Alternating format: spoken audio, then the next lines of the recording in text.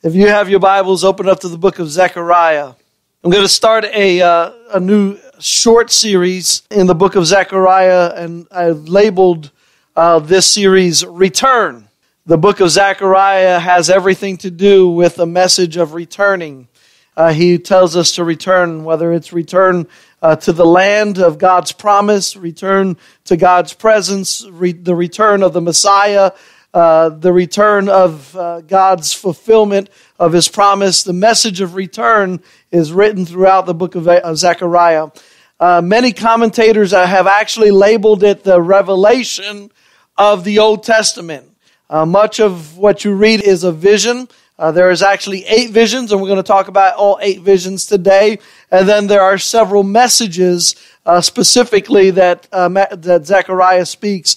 And Zechariah is a, is a messenger of encouragement.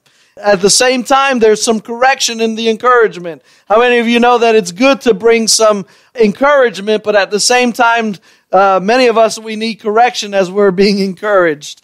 Uh, it's not, it's not enough to say, well, you're encouraging me to continue to do something, but it's the wrong thing that I'm doing. How many of you ever, have ever been there? Uh, some of us, we seek uh, affirmation from God uh, for what we're doing, and we never see God's direction in what we're doing. Uh, we want God to say, uh, "Great job, good, good going," but we never really want to say, hear His voice say, "Hey, you're you need some course correction here." Because discipline and correction is not always so easily swallowed. It's not so easily taken. Zechariah brings some of that uh, as well in his message. So read along with me, Zechariah chapter chapter 1, starting in verse 1. It's the eighth month in the second year of Darius. And the word of the Lord came to the prophet Zechariah, the son of Berechiah, the son of Iddo, uh, saying, The Lord was very angry with your father, fathers, therefore say to them, Thus declares the Lord of hosts, I will return to you, says the Lord of hosts. Do not be like your fathers to whom the former prophets cried out. Let's stop right there and look at what he's saying here. He says, God was very angry with your fathers.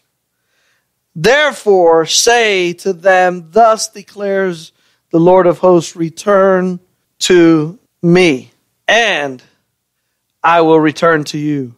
I, I, I like that idea. It's, it, this is the concept of God's promise to us. If we return to Him, he returns to us. It's, it's clearly written throughout Scripture. Jesus uh, reminds us that we're to seek and to knock and, uh, and if we seek him out and we knock on the door, he's right there. He's been waiting for us. And so he says, if you return to me, I will return to you. It's an idea of repentance. This concept of repentance that's given throughout scripture is one that is foundational to each one of us as we walk the life that God desires us to walk. It's not just a one and done act. It is a constant reminder that we are to return to Him so that He can return to us. If we turn from Him, then He'll turn from us. So if we return, in other words, we come back to Him, He has never left us nor has He forsaken us. The idea of repentance is that we acknowledge what we've done, that we acknowledge that we've sinned it's that recognition of where we stand with God. The recognition that our sin has separated us from God. And so I must confess my sin to Him and He is faithful and just to forgive me of my sin. That's what God lays out in His Word and it's one that we must consistently work out and, and, live out every single day of the life. Can I tell you, repentance is not a one and done deal. It, it is not something that you just said, I, I, I, I went to the altar when I was seven years old and I gave my life to Jesus and I repented on that day and every day has been hunky dory with God since. In reality, we all deal with sin and we all deal with the sin nature. And so repentance is this, is this remembering, remembering that as we deal with sin, we repent of it, we turn away from it, and we give it to God, and we say, God, here I'm dealing with this. I desire you to come and, and be the Lord of my life to give me the strength to be more than an overcomer through the blood of the Lamb and through the words of my testimony.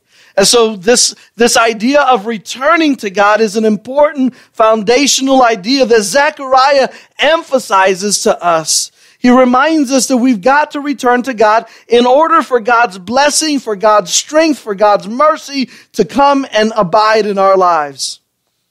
So he says, verse 4, do not be like your fathers, to whom the former prophets cried out. Thus says the Lord of hosts, return from your evil ways and from your evil deeds. But they did not hear or pay attention to me, declares the, the Lord. Your fathers, where are they? And the prophets, do they live forever? But my words and my statutes, which I command to my servants, the prophets, did they not overtake your fathers? Wow. He says, when I, when I sent my prophets to speak the words of encouragement, to speak a message uh, that would bring them back to me, they turned a deaf ear to it. And he said, The anger of the Lord was upon them. And, and it was so much so, if you remember what the context of these verses, all right, this is after 70 years that the nation of Israel was taken into captivity, first by the Babylonians, then the Persians conquered the Babylonians, and now they're in the, the second year of Darius. This is when this is being written. What took place was that there was a, a group of uh, vigilantes or, or people who were trying to rise up against the Persian Empire. But if you, if you know anything about history, the Persian Empire was one of the strongest empires to have lived. Tactically speaking, there was nothing like the uh, Persian empires in that day later on we'll see Greece uh, take on some of the tactical initiatives that the, that the Persians had uh, perfected to wind up conquering the Persians. But there was no force on the earth like the Persian Empire. And so they had come in, and uh, Cyrus had uh, had decreed, had allowed the uh, the nation of Israel to come back into Jerusalem. And there was a group of people who had come back, and one of them was Zechariah's grandfather. Idu or Ido. And so he had come back and had set up a, a committee to start working on the temple. And as they're working there, God is asking them to repent, to come and, and to bring the, you know, bring the nation to repentance. Of course, they had turned their backs, and yet God still did something in their hearts. And so this is what he's saying here. Uh, look at, look at what God, God is. I love God. He doesn't pressure you to do something that he, that you don't want to do, but he will be consistent in his desire to show you his affection and his love. So he's persistent. Now he doesn't impose himself on you. And that's something we need to recognize. God's not just going to impose his will on your life. You, you may wind up thinking, oh, you know, yeah, it's all going to work out for good. Well, yes and no. It'll work out if you allow him to work in you. If, if you're going to do what you're going to do, he's going to let you do what you're going to do. He's not going to impose himself on you. If you continue to make poor choices in your life, if you continue to sin, God is going to allow you to live in, in, that squalor of that sin until the moment that you recognize where you stand and you say, God, forgive me. Then He, He calls you right back. He says, Hey, I love you. It's like that, that, that beautiful illustration that Jesus gave about the, the son who had squandered his inheritance. Giving that picture of the father who, who is standing at, in his, at, at the roof of his home. He sees his son from afar off and he welcomes the prodigal back home. And he says, welcome. And he puts on a robe over him and he reminds him that he is his son. He loves him so much. So God says, and where are your fathers? Where are they? My words and my statutes, which I commanded the, perfect, the prophets, uh, verse 6, did they not overtake your fathers? So they repented and said, As the Lord of hosts proposed to deal with us for our ways and deeds, so he has dealt with us. So they recognized why they were where they were at. So then on the 24th day of the 11th month, which is the month of Shebat, in the second year of Darius, the word of the Lord came to the prophet Zechariah, the son of Berechiah, the son of Idu. And he saw this. Remember, there's eight visions that he sees here. This is the first vision that he sees. Behold, there was a man riding on a red horse. He was standing among the myrtle trees in the glen, and behind him were red sorrel and white horses. Then I said, What are these, my Lord? The angel who talked with me said to me, I will show you what they are. I like that. That reminds us that, listen, when we don't understand, when we don't know what God is showing us or what, where God is directing us, many times we stand in awe of God's presence. And sometimes because we're in awe of God's presence, we stand dumbfounded intellectually, spiritually, emotionally. We are standing there saying, what is this? I don't know what this is. The, the problem for many of us is that when we get to that place, we allow our ignorance to shut off the message that God is trying to speak to us, and we wind up just doing what we normally do.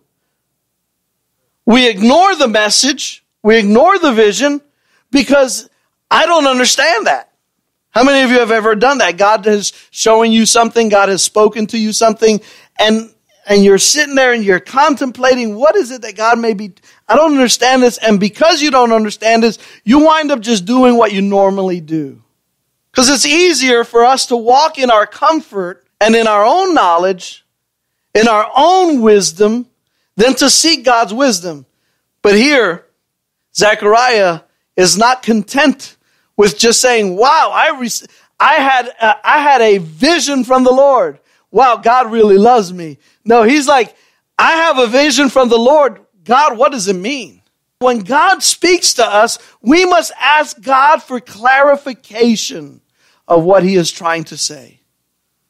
We have got to seek the clarification of what God is trying to speak into our lives. You know, we can all receive a, a word from the Lord.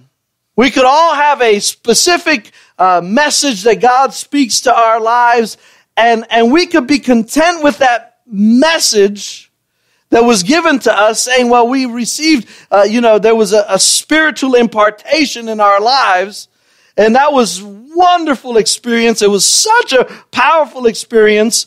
But unless we make some practical applications, that vision means nothing. I, want you to understand that. We're not seeking just to have an experience. In your spiritual walk, you should never just seek to have an experience. There has got to be some action placed on the experience that you've received.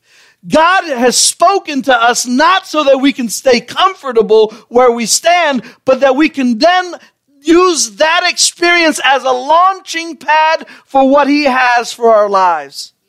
So, Zechariah says, I don't know what this means. God, can you tell me what this means? I need clarification. So the angel talked with me and he said, This is verse 9, I will show you what they are. So the man who was standing among the myrtle trees answered, These are they whom the Lord has sent to patrol the earth. And they answered the angel of the Lord who was standing among the myrtle trees and said, We have patrolled the earth, and behold, the earth remains at rest. Or in some of your versions, it may say at peace. Then the angel of the Lord said, O Lord of hosts, how long will you have no mercy on Jerusalem and on the cities of Judah against which you have been angry these 70 years? So you see, they've been in captivity for 70 years.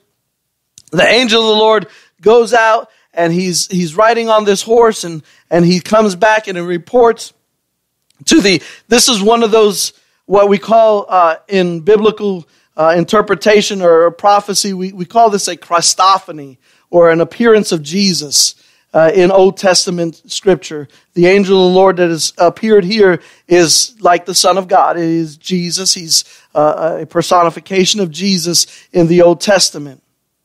And he reports to him, hey, all is at rest or all is at peace. Now that word in the, in, in the original uh, Hebrew is, is, is one that doesn't just connote peace or rest. It actually means that everybody is just happy doing what they're doing. They're content. And here's the problem with that. God has an issue with that.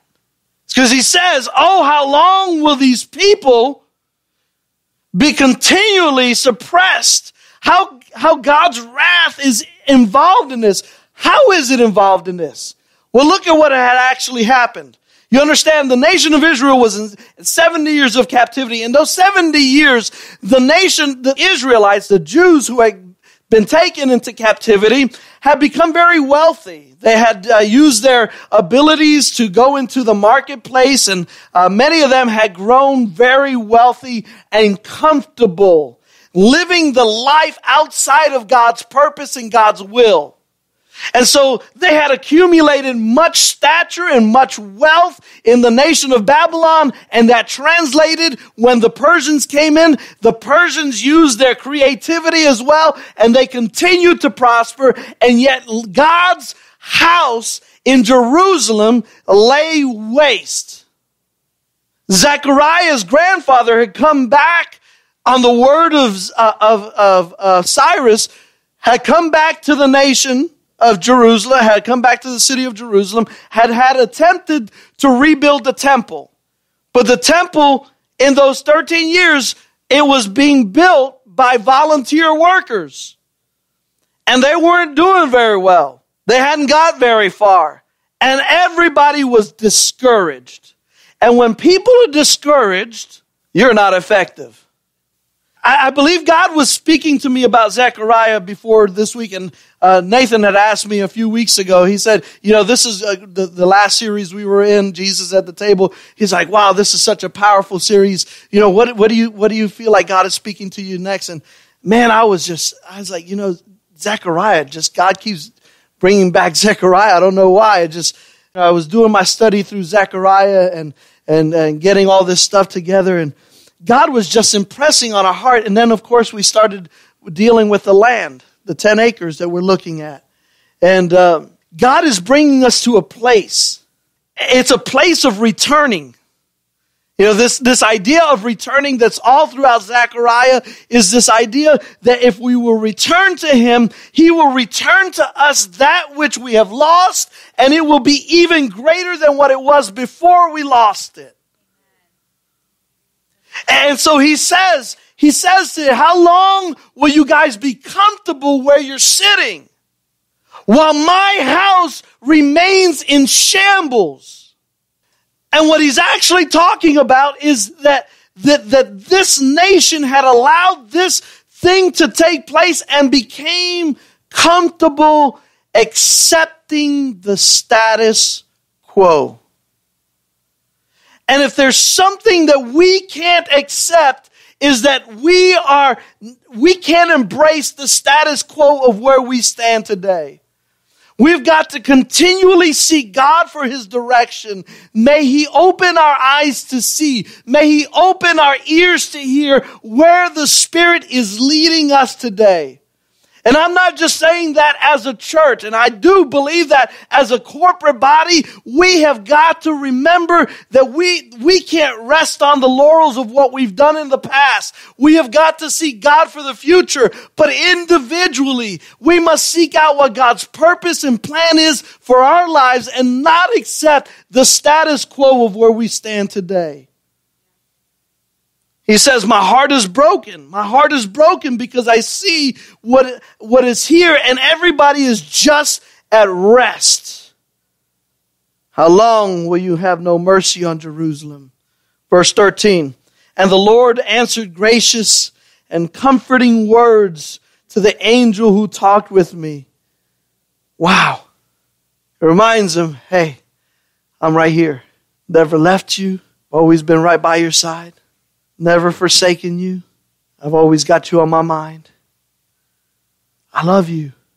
Gracious and comforting words.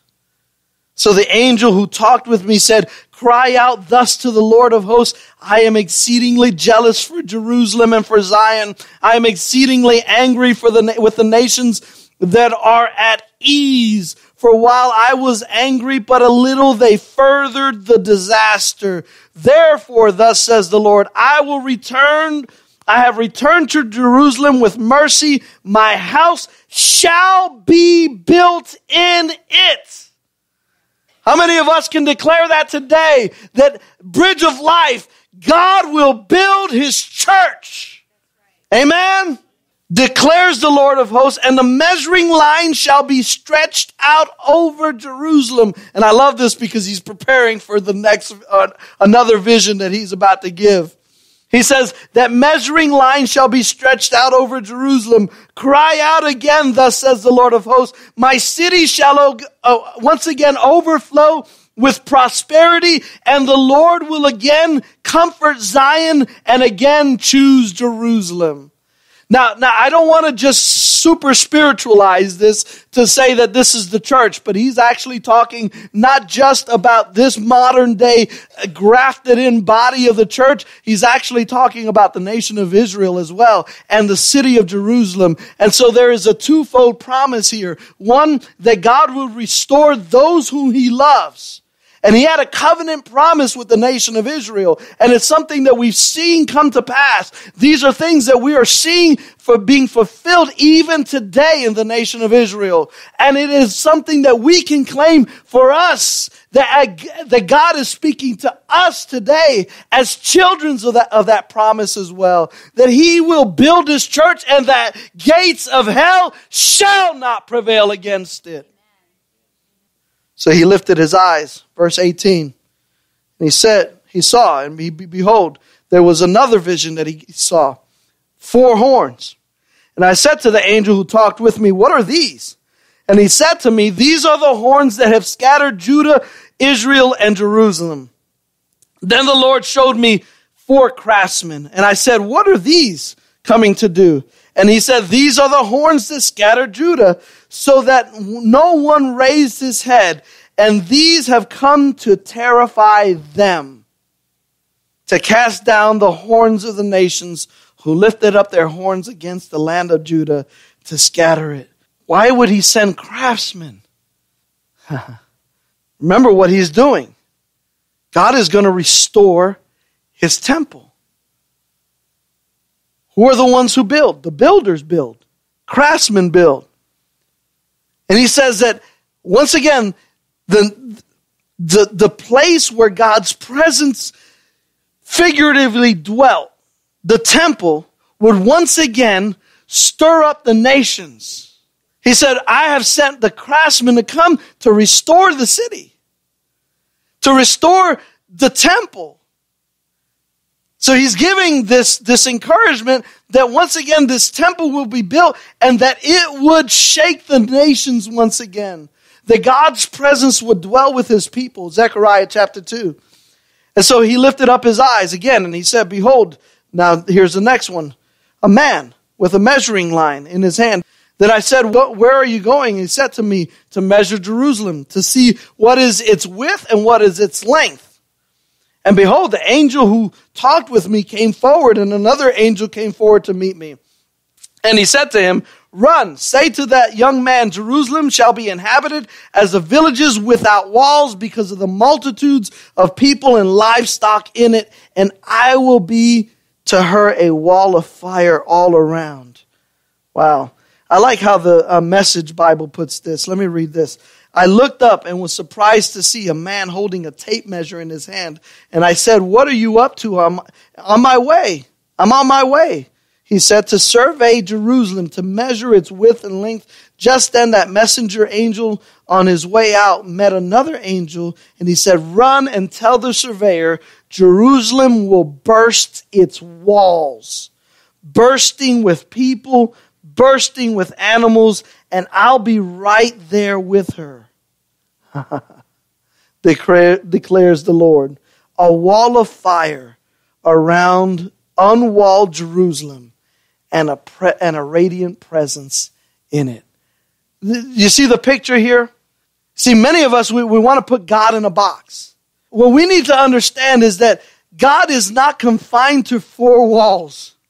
whether it's the four walls of a church or whether it's the four walls of a meeting place, God is not confined to the four walls.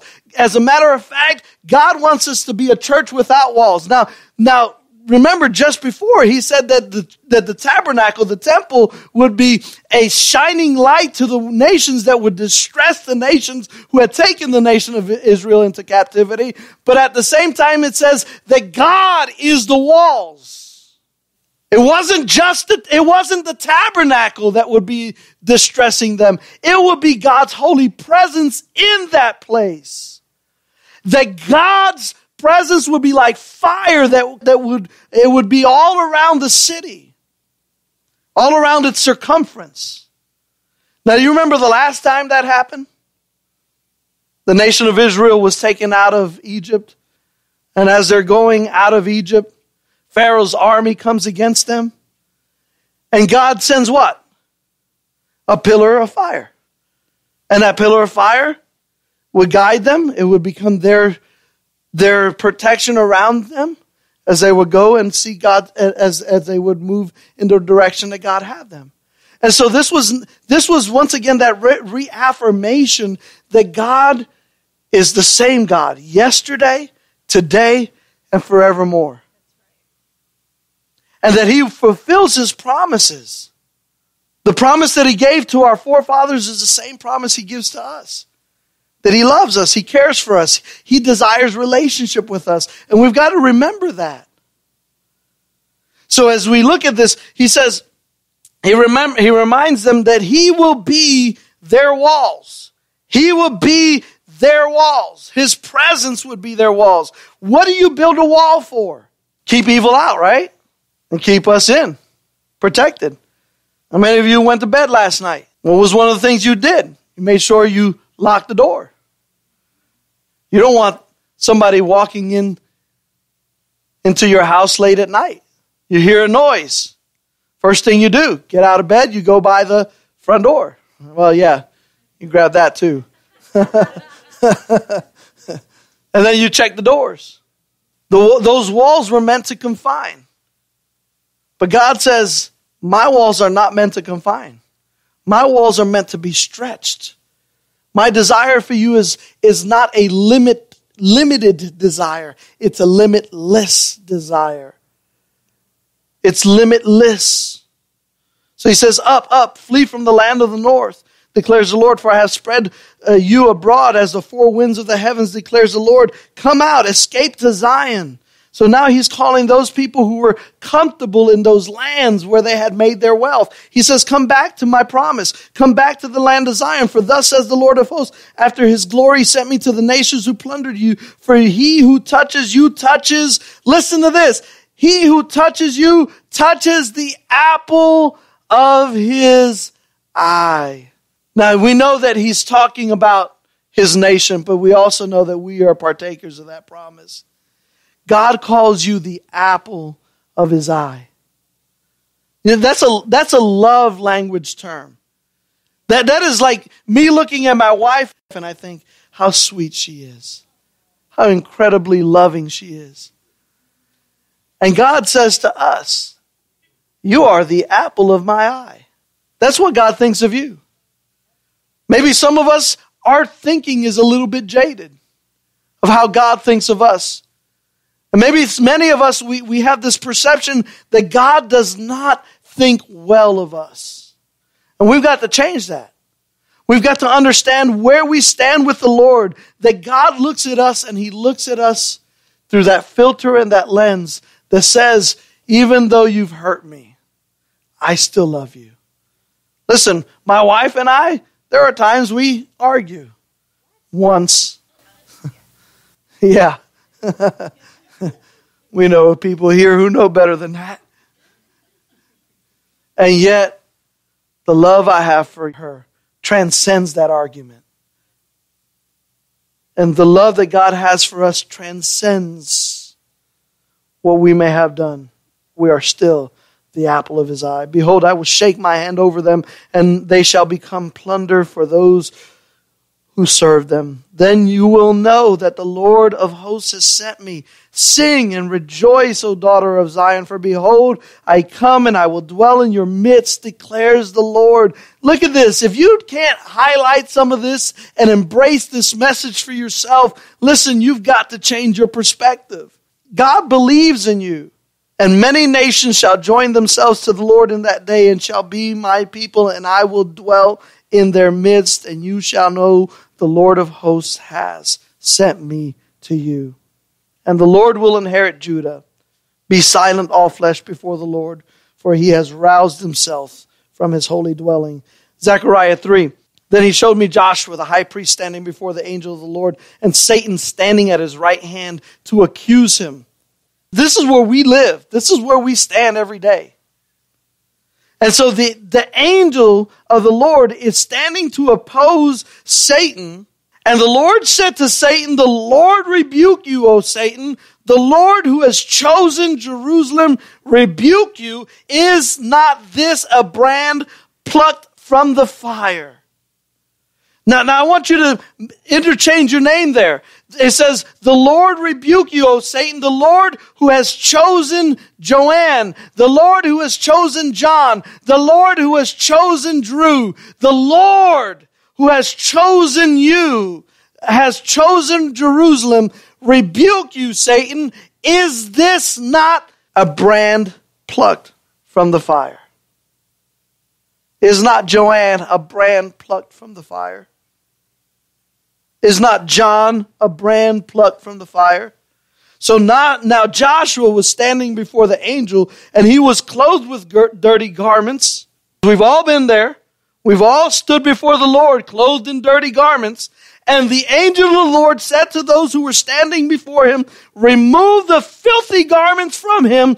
And to him he said, behold, I have taken away your iniquity and I will clothe you with pure vestments. And I said to them, let them put a clean turban on his head. So they put a clean turban on his head and they clothed him with pure garments. And the angel of the Lord was standing by. Wow. Wow, what a picture of God's grace. What a picture of God's mercy. What a picture of how God restores us to right relationship with Him. What was the turban? The turban that was put on his head was symbolic of his standing. Now he could stand with his head held high. And the angel of the Lord solemnly assured Joshua. Who was Joshua again? Joshua was the high priest.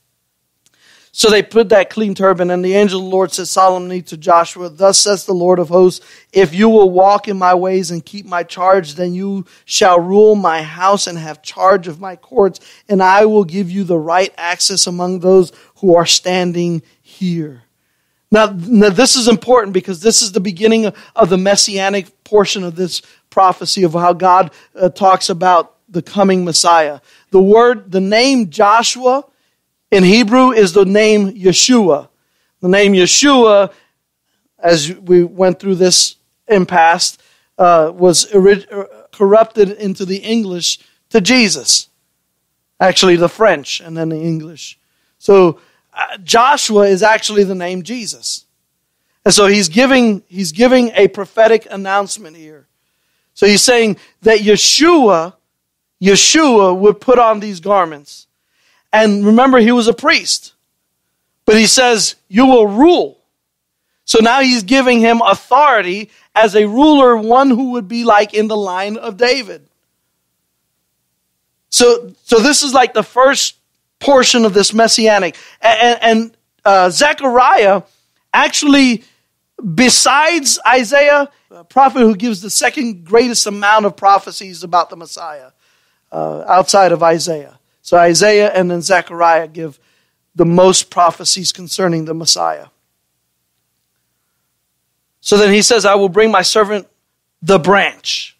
And once again, that's the messianic portion of this prophecy. For behold, on the stone that I have set before Joshua, on a single stone with seven eyes, I will engrave its inscription, declares the Lord of hosts. I will remove the iniquity of this land Look at this in a single day.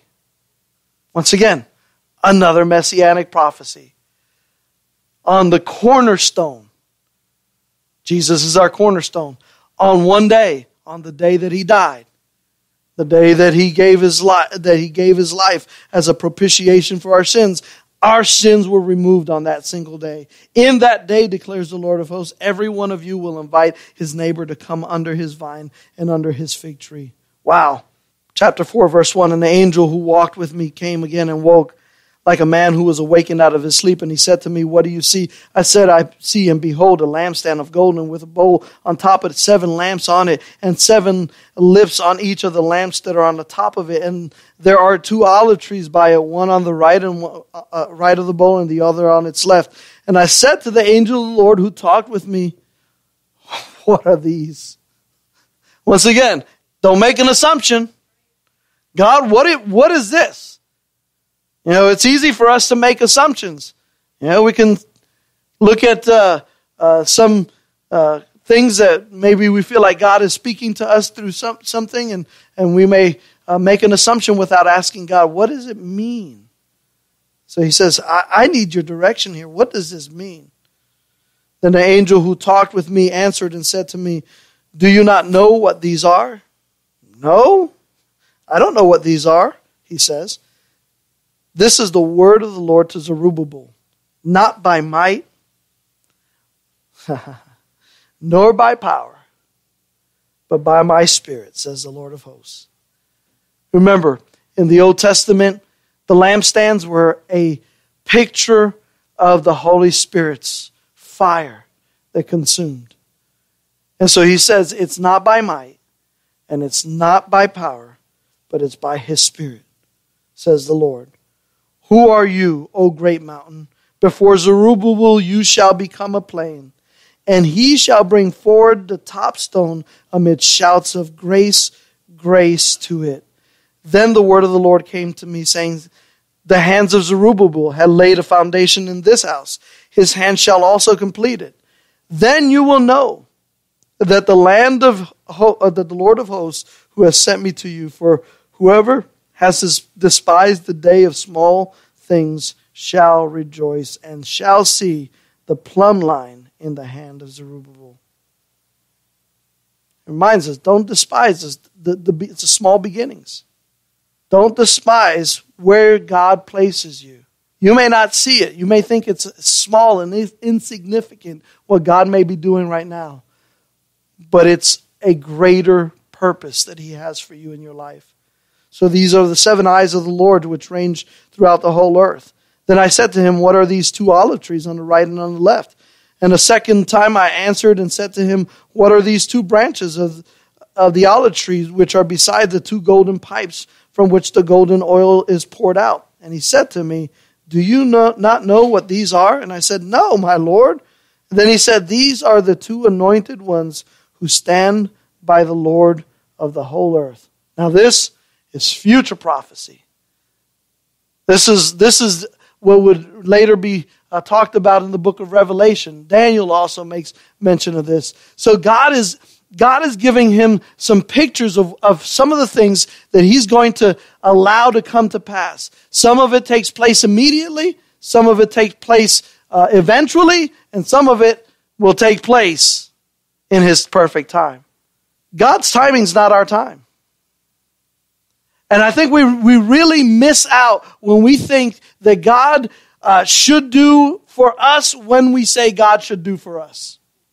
We want to put time constraints on God. We want to say, God, you've got to do this now because if you don't do it now, then it will never get done. Really? You're talking about God. The reality is that God has a purpose and a plan and a time, and His time is perfect always. And so when when uh, Zechariah receives this vision, he's not quite sure what God is saying. He's confused about it.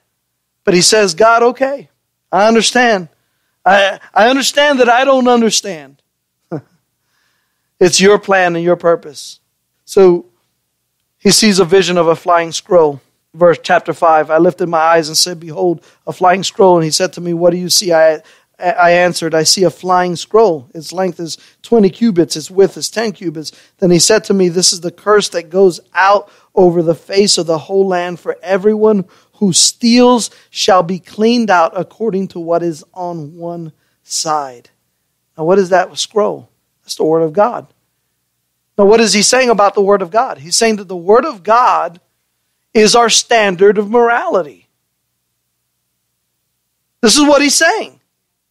The Word of God is our standard of morality, and if you're if you don't if you don't live by the by the Word, then the Word becomes a curse to you.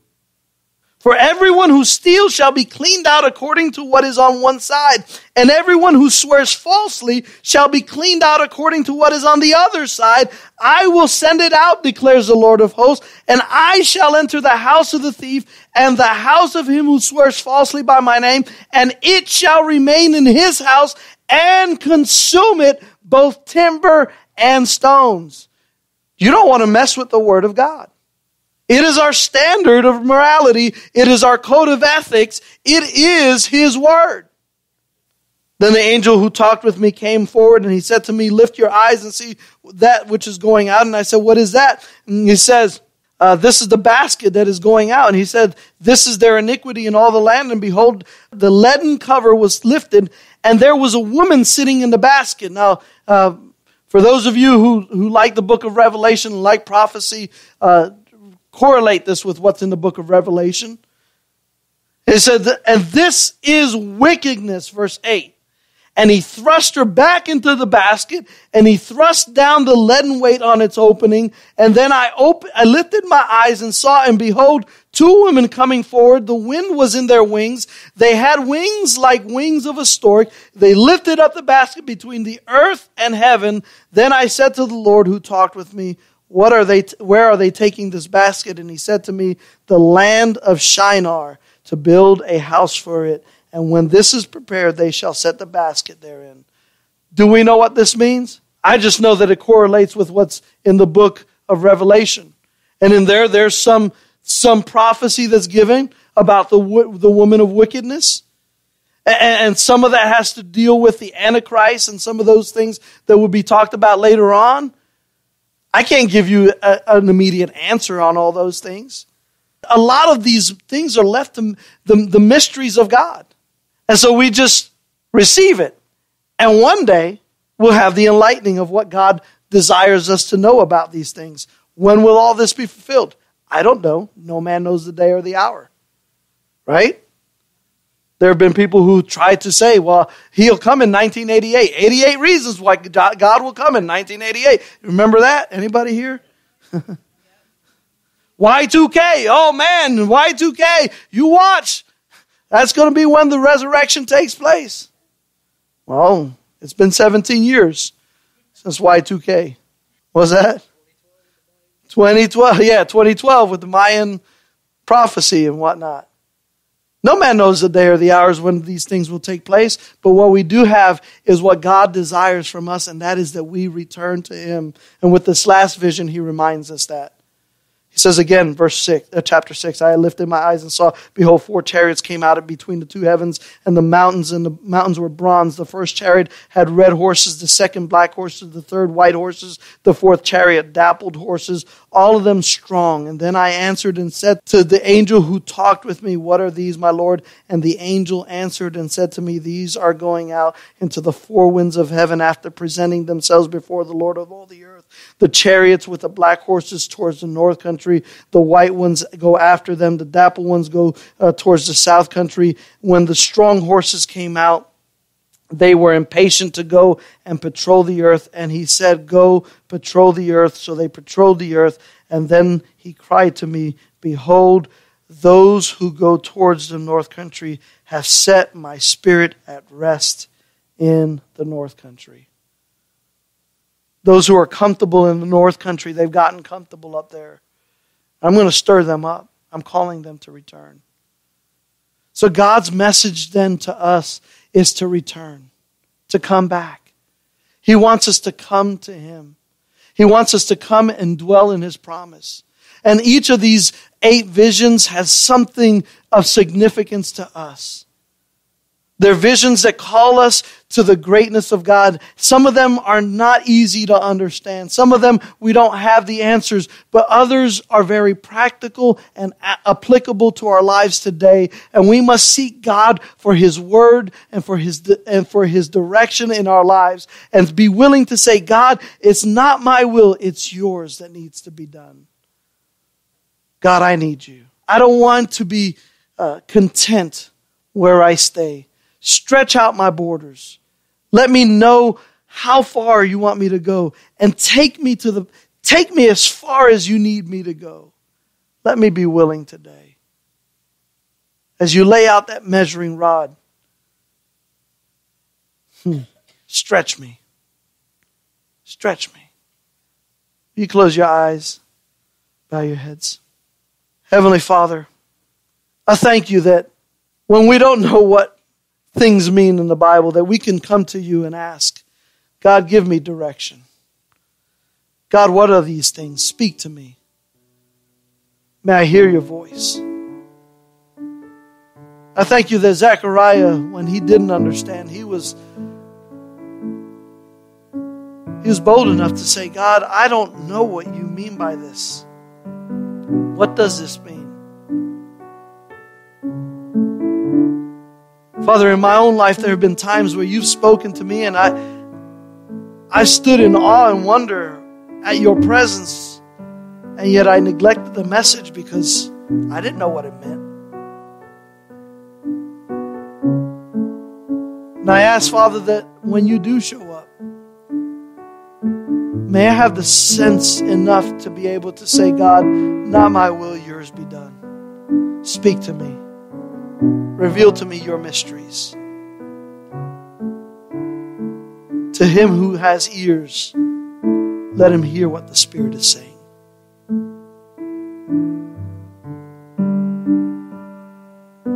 Many of you are in a place of decision in your life. There's some rebuilding that is going on, whether it's in your career, whether it's with your family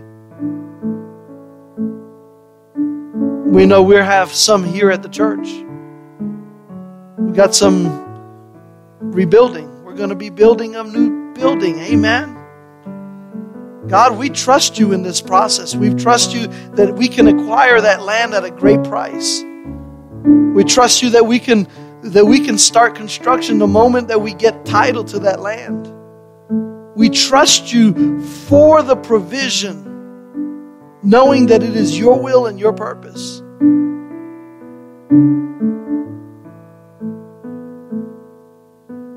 So give us ears to hear. Give us a sensitivity in our hearts to know when you speak to us.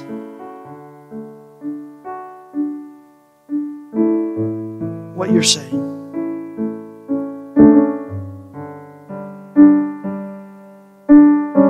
You today?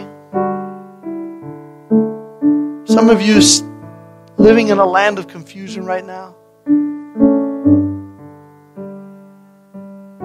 You're saying, Pastor, I'd, I've got some decisions that I've got to make going forward, and I just, man, it's like a jigsaw puzzle, just like what you were, what, what was revealed here to Zacharias. There have been, I've seen a lot of things, and I don't know which step I need to take next.